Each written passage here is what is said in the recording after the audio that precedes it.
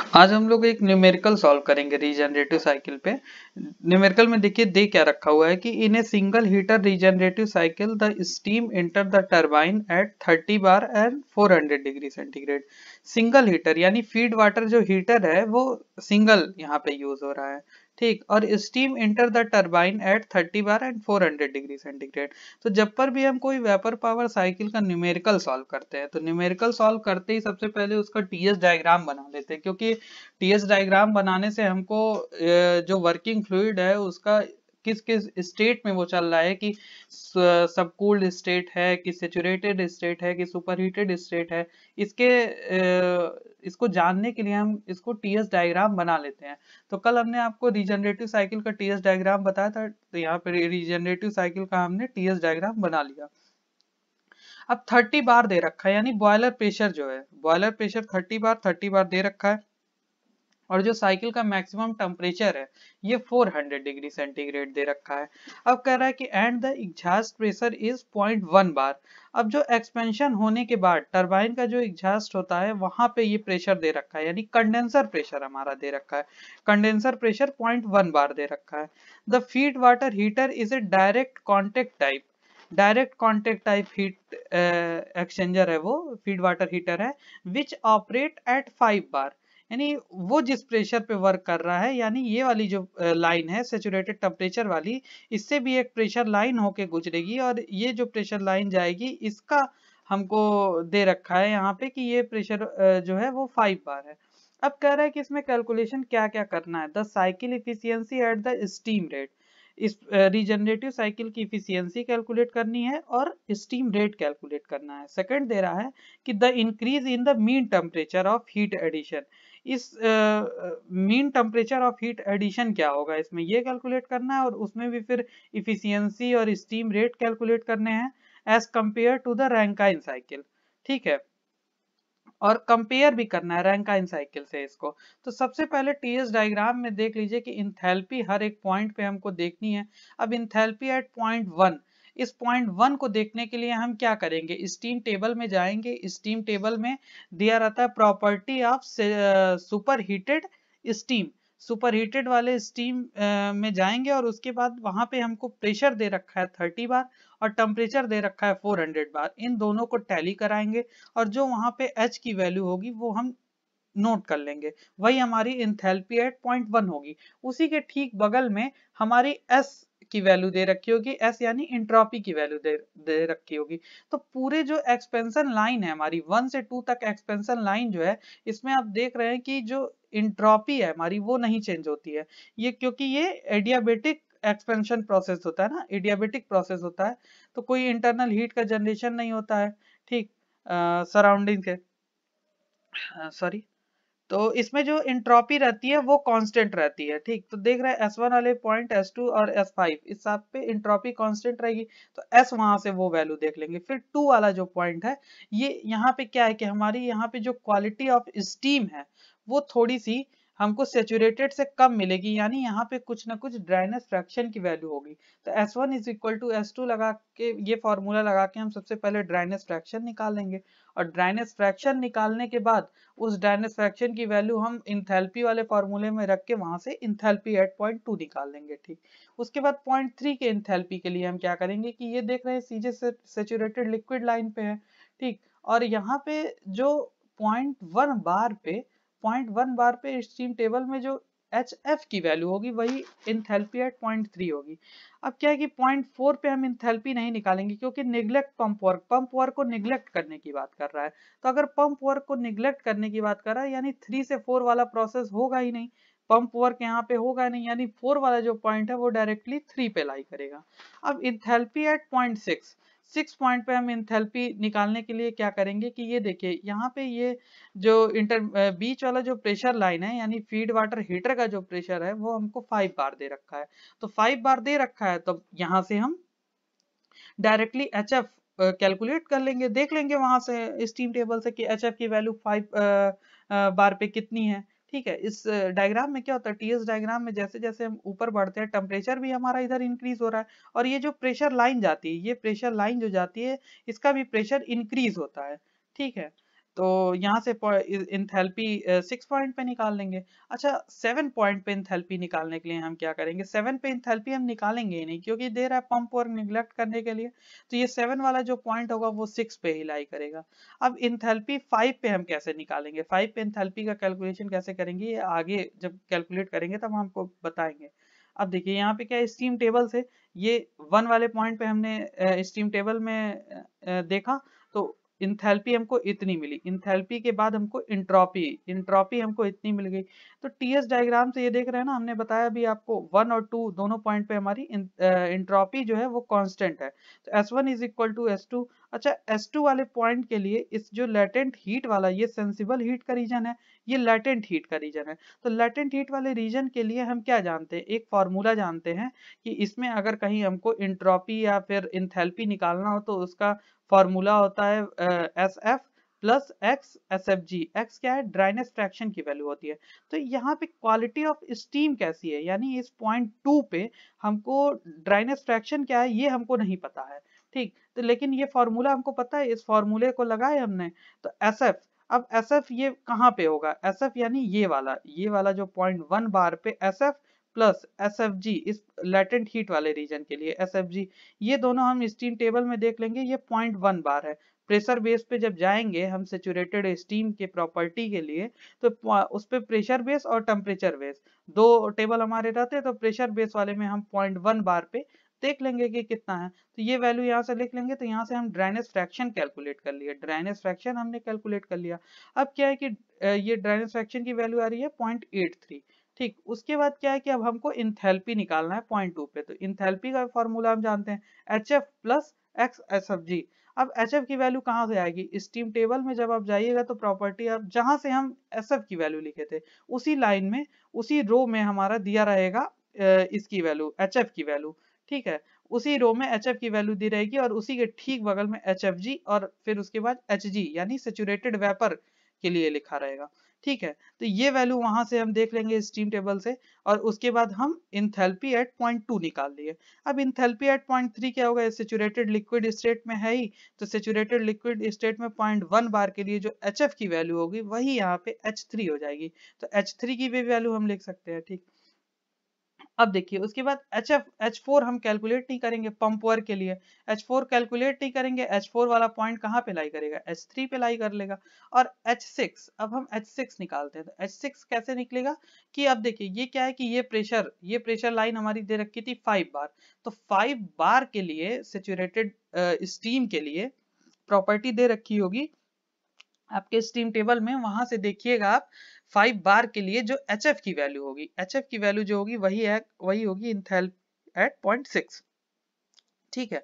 अब देखिए five five वाले पॉइंट पे अगर हमको इंथेल्पी देखनी है तो फाइव वाला जो पॉइंट है, ये हमारा किस स्टेट में है? सुपर हीटेड स्टेट में है।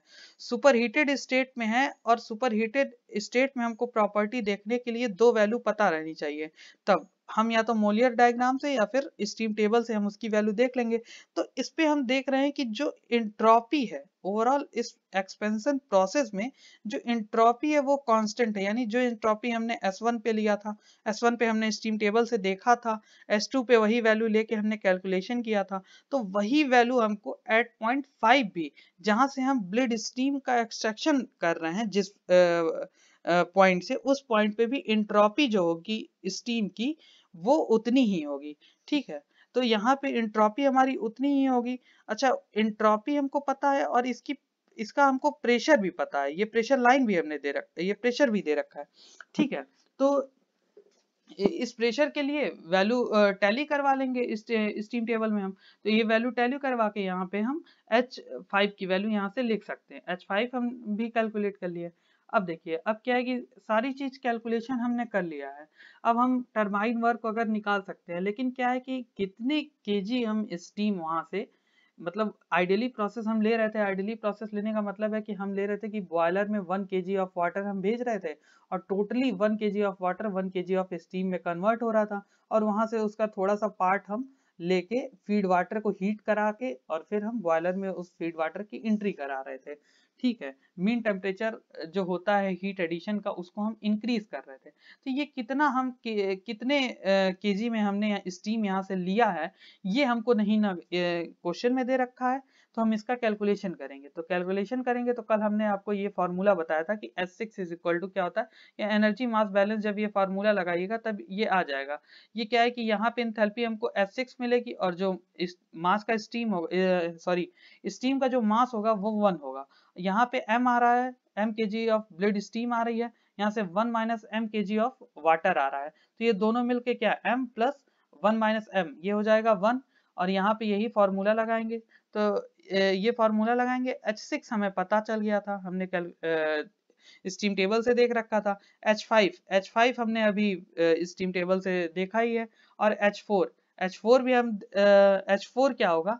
अब H4 यहाँ अभी हमने बताया कि पंप वर्क को जब निग्लेक्ट करेंगे तो ये फोर वाला जो पॉइंट है वो आ जाएगा थ्री पे तो जो H3 होगा वही H4 होगा, ठीक? तो ये सारी वैल्यू रख के जब हम इसको एक एक इक्वेशन बन जाएगा, एक इक्वेशन को सॉल्व करेंगे तो हमारी m की वैल्यू आ जाएगी, यानी point one seven two four K G one के जी यहाँ पे आ रहा था ना तो उसका एक छोटा सा पार्ट देखिए कितना है point one four seven two four K G steam हम यहाँ से एक्सट्रैक्ट कर रहे थे, जिसको हम ब्लेड स्टीम बोल रहे थे। ठीक, अब ये हो गया। अब हमारा क्या है कि अब हमको टर्बाइन वर्क निकालना है। तो टर्बाइन वर्क देखिए, टर्बाइन वर्क क्या हो जाएगा कि वन से फाइव वाले के लिए हमारा one K G of steam है और फाइव से पॉइंट टू के लिए one minus M K G of steam है। तो यहाँ पे टर्बाइन वर्क जो निकालेंगे, वो क्या हो जाएगा? वन, यहाँ पे वन ही रहेगा, one K G of steam है, H one minus H five plus H five minus H two. इस दो, दोनों प्रोसेस इस फाइव से टू वाले प्रोसेस के लिए जो हमको यहाँ पे स्टीम मिलेगी वो वन माइनस एम मिलेगी। तो वन माइनस एम से यहाँ पे मल्टीप्लाई करेंगे। अब यहाँ पे किसी चीज़ से वन से मल्टीप्लाई किया क्योंकि one K G of steam थी तो हम यहाँ से टर्बाइन वर्क कैलकुलेट कर लेंगे। तो टर्बाइन वर्क का कैलकुलेशन हम जब करेंगे क्योंकि H one H five H two सारा हमने देख रखा है कैलकुलेट कर रखा है। तो यहाँ से देखेंगे तो टर्बाइन वर्क हमारा इतना आ जाएगा nine three five point four four kilojoule per K G अब देखिए हीट एडिशन कितना हो रहा है? हीट एडिशन कितना होगा? ये हीट एडिशन कहाँ होता है? बॉयलर में ही, अब हीट एडिशन यहाँ दो हो रहा है। एक इस प्रोसेस में हो रहा है, ठीक है जो फ़ीड वाटर हीटर में भी हीट एडिशन हो रहा है और हमारा बॉयलर में भी हीट एडिशन हो रहा है। लेकिन फ़ीड वाटर हीटर में जो हमारा हीट एडिशन हो रहा है, वो इंटरनल हीट एडिशन है, ठीक? इंटरनल हीट एडिशन है मतलब ओवरऑल जो प्रोसेस हो रहा था, उसमें वो हीट एडिशन जो है फ़ीड वाटर हीटर का इंटरनली हो रहा है। मतलब स्टीम से ही हम कर ले रहे हैं। उस पर हमको कोई एक्सटर्नल वर्क नहीं करना पड़ रहा है। ठीक। और जो बॉयलर में होता है, उस पर हम एक्सटर्नली वर्क करते हैं। यानी फ्यूल को कहीं बर्न कराते हैं, ठीक। उसके बाद उसकी हीट एनर्जी को हम यूज़ करते हैं वाटर का फेस ट्रांसफॉर्म जो होता है हमारा। सब कूल लिक्विड से कैसे वो सेचुरेटेड में आता है, थोड़ा टेम्परेचर इंक्रीज करते हैं, फिर अपने सेचुरेशन टेम्परेचर पे वो फेस चेंज करता है। उसके बाद हमको, उसको और थोड़ा हीट प्रोवाइड करते हैं super heat super heater use करके, जिससे वो स्टीम हमारी वेट से पूरी की पूरी ड्राई में कन्वर्ट होती है और सुपर हीटेड स्टेट में चली जाती है। तो इसमें इतना हीट एडिशन क्या होगा? H1 वन माइनस एच होगा। अब यहाँ पे पंप वर्क निग्लेक्ट कर रहे हैं तो पॉइंट सेवन जो होगा वो सिक्स पे लाई करेगा। यानी H one minus H six अगर हम निकाल लेंगे तो हमको मिल जाएगा Uh, हमारा टोटल हीट एडिशन कितना है। तो H1 भी हमको पता था और H6 भी हमको पता था ठीक है? तो S6 हम ये दोनों से हम Q1 की वैल्यू हम निकाल सकते हैं यहाँ पे ठीक? Q1 की वैल्यू हमने निकाल दिया। अब क्या है कि Q1 निकल गया अब हमको Q1 की भी वैल्यू निकल गई और इसके पहले हमने टरबाइन वर्क भी निकाल लिया तो हम साइकिल की इफिशियंसी निकाल सकते हैं। पंप वर्क को अगर निग्लेक्ट कर दे तो क्या हो जाएगा? W T upon Q supplied तो डब्ल्यू टी हमारा यहाँ पे आ रहा था ना? डब्ल्यू टी हमारा इतना आ रहा था और क्यू वन हमारा इतना आ रहा था।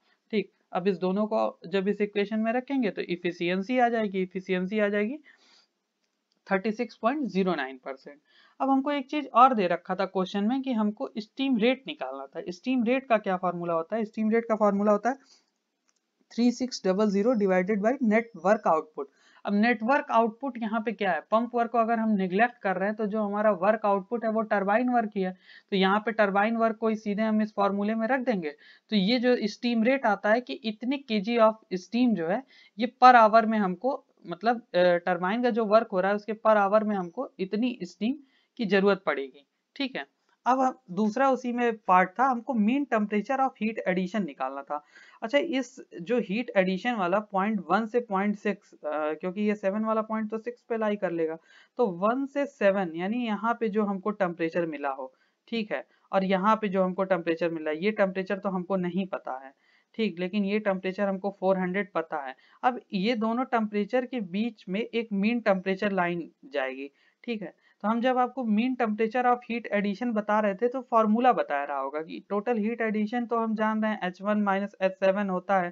ठीक इज़ इक्वल टू अगर मीन टेम्परेचर डिफरेंस के फॉर्मूले में अगर इसको हम लिखते हैं तो ये क्या हो जाता है? Q इज़ इक्वल टू हम ये भी जानते हैं कि इन इंथैल्पी का चेंजेस जितना होता है।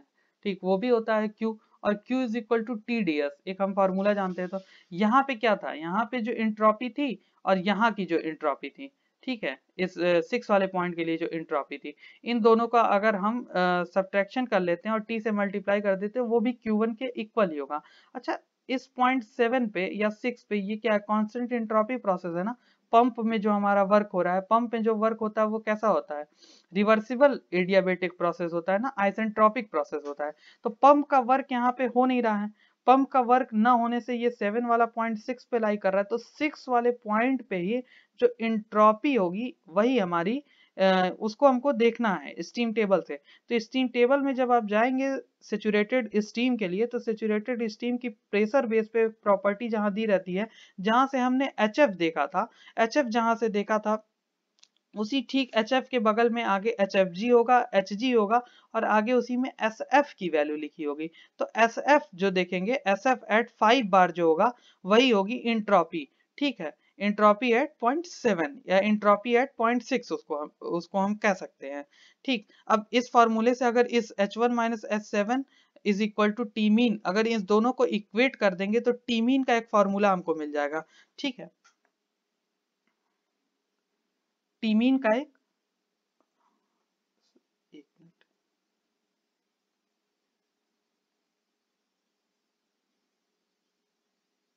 देखिए, इस, इसको और इसको, इन दोनों को अगर हम इक्वेट कर दें तो टीमीन का फॉर्मूला क्या हो जाएगा? H one minus H seven divided by H one minus S seven H one minus S seven अभी, देखिए H one minus S seven हमारा अभी यहाँ पे भी था, ठीक है?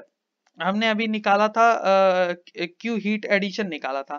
तो H one minus S seven वहाँ पे भी किए थे तो उसकी वैल्यू इतनी पॉइंट वन पे पॉइंट वन पे हम इंथेल्पी स्टीम टेबल से सबसे जब कैलकुलेशन स्टार्ट कर रहे थे, इसका सॉल्यूशन स्टार्ट कर रहे थे, तभी हमने यहाँ पे इंट्रॉपी देख रखा था। तो वो इंट्रॉपी यहाँ लिख देंगे और पॉइंट सेवन पे या सिक्स पे जो हमारी इंट्रॉपी थी, अभी हमने उसको स्टीम टेबल से देख रखा कि वो इतनी होगी एसएफ की जो वैल्यू होगी। तो इसको जब करेंगे और इस फॉर्मूले में रखेंगे तो सॉरी इस फॉर्मूले में रखेंगे तो टीमीन की जो वैल्यू आ जाएगी टीमीन की जो वैल्यू आ जाएगी वो कितनी आ जाएगी? Five double one point eight zero kelvin और टू सेवेंटी थ्री 0.15 अगर इसमें से सब्ट्रैक्ट कर लें तो जो वैल्यू आएगी टी मीन की, वो हो जाएगी हमारी मीन टेम्परेचर हो जाएगा। ठीक है?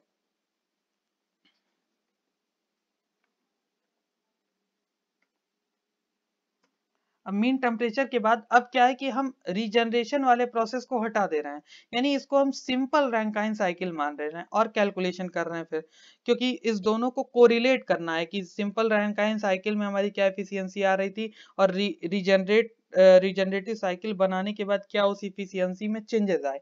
इस दोनों को हमको देखना है। तो अगर रीजनरेशन प्रोसेस को हम हटा दे रहे हैं, ये सिंपल रैंकाइन साइकिल हो गई। सिंपल रैंकाइन साइकिल में पॉइंट वन क्या है? Thirty thirty bar four hundred degree centigrade तो इस इस पॉइंट पे हम यहाँ पे इंथेल्पी पहले देख रखे हैं। इसी पॉइंट पे हमने इंट्रॉपी भी देख रखी है। H2 भी हमको पता ही है। H3 भी हमें पता है। अब H4 क्या है? H4 को हम यहाँ पे निग्लेक्ट करेंगे, क्योंकि पंप वर्क को हमको निग्लेक्ट करना है। ठीक है पंप वर्क को निग्लेक्ट करेंगे तो फोर वाला पॉइंट आ जाएगा थ्री पे, ठीक। अब फोर वाला पॉइंट थ्री पे आ जाएगा तो यहाँ पे थ्री वाले पॉइंट के लिए हमको एस की वैल्यू नहीं पता थी, क्योंकि अभी इससे पहले, अभी इस पहले इस वाले पॉइंट पे हम एच की वैल्यू देखे थे एच एफ़ देखे थे, लेकिन इंट्रॉपी नहीं देखे थे। तो वही पॉइंट वन बार पे पॉइंट वन बार पे जब हम आएँगे स्टीम टेबल में सेचुरेटेड सेचुरेटेड वाटर के लिए तो जो एस एफ़ की वैल्यू होगी, वही हमारी इस पॉइंट पे इंट्रॉपी होगी, ठीक है? तो वो इंट्रॉपी हमने देख के स्टीम टेबल से लिख लिया पॉइंट वन बार पे कितनी होगी?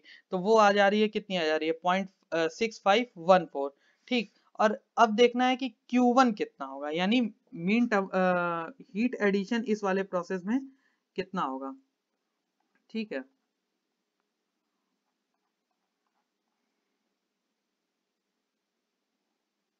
अब इस वाले प्रोसेस में जो हीट एडिशन होगा वो कितना होगा? H1 one minus H three H one भी हमने कैलकुलेट कर रखा है और H3 भी कैलकुलेट कर रखा है। यानी H3 भी कैलकुलेट कर रखा है। तो दोनों को सब्ट्रैक्ट कर लेंगे तो Q1 की वैल्यू आ जाएगी। अब हमारा क्या है कि अब इसके बाद हम निकालेंगे कि मीन टेम्परेचर तो मीन टेम्परेचर देखिए कैसे निकालेंगे इसमें। सॉरी इस वाले प्रोसेस के लिए मीन टेम्परेचर क्या होगा? एक यहाँ पे T1 मिल रहा है और यहाँ पे ये टी टी फोर सॉरी ये फोर वाला पॉइंट थ्री पे लाई करेगा। तो एक टेम्परेचर यहाँ मिल रहा है, एक टेम्परेचर यहाँ मिल रहा है, ठीक? तो अगर इसमें हीट एडिशन कितना होगा? H1 वन माइनस एच हो रहा है और अगर मीन टेम्परेचर के लिए फॉर्मूला लिखेंगे तो हो जाएगा टी मीन और S1 वन माइनस एच ठीक? तो उस फॉर्मूले से यहाँ पे हम मीन टेम्परेचर निकालेंगे सेम उसी तरह निकालना जिस तरह हमने मीन टेम्परेचर इससे पहले निकाला था। ठीक तो वो मीन टेम्परेचर आ जाएगा हमारा 484 पॉइंट समथिंग इसको हम 273.15 से सब्ट्रैक्ट कर लेंगे तो ये हमारा मीन टेम्परेचर आ जाएगा जो हम रैंकाइन साइकिल में विदाउट रीजनरेशन यूज़ कर रहे थे। अच्छा अभी हमने जब, अभी इससे पहले जब हमने मीन टेम्परेचर निकाला था रीजनरेटिव साइकिल के लिए तो वो 238.65 डिग्री सेंटीग्रेड आ रहा था। और यहाँ पे क्या है मीन टेम्परेचर हमारा टू इलेवन आ रहा है। तो इसको सब्ट्रैक्ट करेंगे यानी इंक्रीज इन मीन टेम्परेचर हमारा कितना होगा? हम मीन टेम्परेचर में इंक्रीमेंट कितना कर रहे हैं? क्योंकि इफिशियंसी जो होती है वो क्या होती है? One minus T two divide by T mean होती है तो टी मीन की वैल्यू को हम इंक्रीज करते हैं तो हमारी साइकिल की इफिशियंसी इंक्रीज होती है। तो टी मीन यानी मीन टेम्परेचर में हम कितना एडिशन uh, कर रहे हैं यानी कितना इंक्रीज कर रहे हैं? तो 27.204 डिग्री सेंटीग्रेड हम मीन टेम्परेचर में ऐड कर रहे हैं। ठीक, अब उसके ही रेशियो में हम टरबाइन वर्क यहाँ पे कैलकुलेट कर लेंगे। अब टर्बाइन वर्क यहाँ पे क्या होगा? टर्बाइन वर्क क्या होगा? H one minus H two होगा। ये जितना टर्बाइन वर्क वहाँ पे हो रहा था, अब क्या कि वहाँ पे हम ब्लिड स्टीम एक्सट्रैक्ट कर ले रहे थे। तो ब्लिड ब्लिड स्टीम एक्सट्रैक्ट करने के बाद यहाँ पे ब्लिड स्टीम हम एक्सट्रैक्ट नहीं कर रहे हैं। ठीक तो हम H one minus H two निकाल लेंगे तो ये हमारा, यहाँ से टर्बाइन वर्क आ जाएगा कि हमारा टर्बाइन वर्क कितना हो रहा है। ठीक है?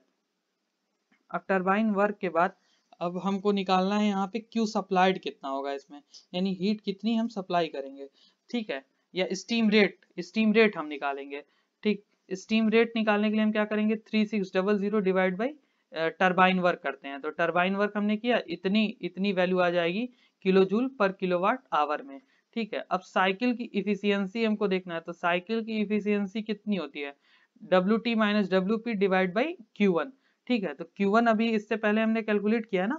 Q1 अभी हमने कैलकुलेट किया है ठीक? Q1 कितना होगा? H1 one minus H Q1 होगा ठीक? इससे पहले भी हम कैलकुलेट किए थे ठीक? H1 वन माइनस एच और टरबाइन वर्क टरबाइन वर्क भी अभी हमने टरबाइन वर्क भी अभी हमने यहाँ से निकाला है तो इन दोनों को आ, लिख देंगे यहाँ पे तो हमारी इफिशियंसी आ जाएगी। इफिशियंसी जो आ जाएगी वो आ जा रही है थर्टी परसेंट अब हम अभी इससे पहले देख रहे थे कि इफिशियंसी 36 परसेंट आ रही थी, ठीक? इफिशियंसी 36 परसेंट आ रही थी। तो अब दोनों को हम सब्ट्रैक्ट कर लेंगे आपस में और ये देख लेंगे कि हमारी इफिशियंसी में इंक्रीमेंट कितना हो रहा है। हम यहाँ से निकालेंगे इंक्रीज इन साइकिल इफिशियंसी कितनी होगी। तो इंक्रीज इन साइकिल इफिशियंसी क्या हो रहा है कि विथ रीजनरेशन रीजनरेशन जब हम कर रहे थे, तब हमको point three six zero nine efficiency मिल रही थी। और जब रीजनरेशन यूज़ नहीं कर रहे हैं तो हमको इफिशियंसी इतनी मिल रही है। तो परसेंटेज इंक्रीज इन इफिशियंसी इसको सब्ट्रैक्ट कर लेंगे, यानी 1.946 परसेंट हमारी इफिशियंसी जो हो रही है, वो इंक्रीज हो रही है। तो हमने ये आज इस न्यूमेरिकल में हमने ये देखा कि कैसे उस साइकिल की इफिशियंसी इंक्रीज करती है और mean temperature of heat addition जो है वो कैसे इंक्रीज करता है? इंक्रीज इन मीन टेम्परेचर तो ये देखिए, ये दोनों वैल्यू इंक्रीज करते हैं। हम तभी जाके हमारी इसको रीजनरेटिव साइकिल बोलते हैं और हमारी इफिशियंसी भी इंक्रीज होती है। Thank you